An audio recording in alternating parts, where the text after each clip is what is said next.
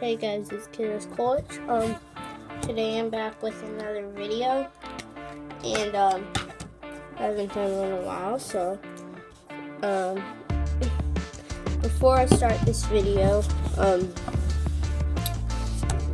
I just need like one more subscriber, guys, to get 30, and I'm gonna try and make it after I get to 30, 35. So, keep liking, watching, and subscribing. But today I'm going to do a video on the Droid Turbo and the Samsung wireless charger. What you can do is, if you have the Droid Turbo, you can pick one of these up at like Best Buy. You can set your phone on it, see that there will be a blue light, and this will pop up. Wireless charger detected.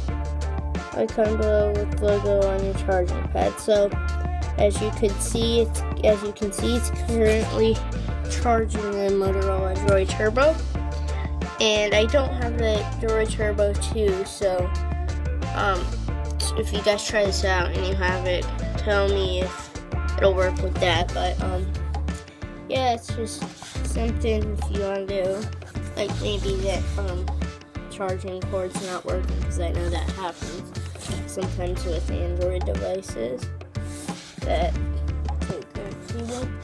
But um yeah, so this is just short little video for you guys, but um remember to try and get 30 and get it up to 35. Keep liking, commenting, sharing, and subscribing. Thank you guys.